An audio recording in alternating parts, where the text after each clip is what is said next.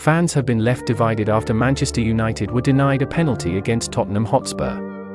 Erik Ten Hag's men produced a nervy display, as they managed a narrow 1-0 win over Wolverhampton Wanderers at Old Trafford last week, whilst Spurs, managed by Ange Postecoglou, were involved in a pulsating 2-2 draw against London rivals Brentford.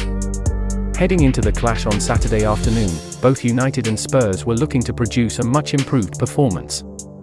In front of a packed crowd, Inside the Tottenham Hotspur Stadium, both teams made a decent start to the match, however, there was a hugely controversial moment with 25 minutes on the clock after Alejandro Garnacho's shot was blocked by the hand of Spurs defender Cristian Romero. After a VAR check, the referee waved play on.